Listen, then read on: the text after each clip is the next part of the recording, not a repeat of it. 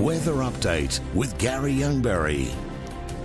Hi, I'm Garry Youngberry with all your weather details for Thursday, thanks to ourbrisbane.com. On the map, the showers that are falling across the southeast uh, yesterday starting to ease back as the southeasterly winds also ease. We are heading into a dry weather pattern over the coming days. Temperatures will warm up quite a few degrees as well. Looking at the forecast for the sunny coast today, look, a possible shower, 27 degrees. Fine though for Caboolture, 28. Sun will be shining around Redcliffe, mostly fine in Toowoomba.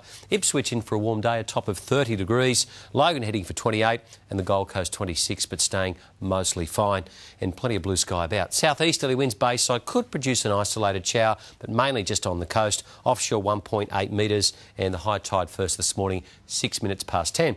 Brisbane 28 degrees and a fine day after that slight chance of the early shower. It's now past the sun setting at 6.30 in the evening. Your seven day outlook temperatures on the rise 29 for Friday, 30 for Saturday. Could see a late storm on Sunday, then back into the mid 30s for the middle of next week.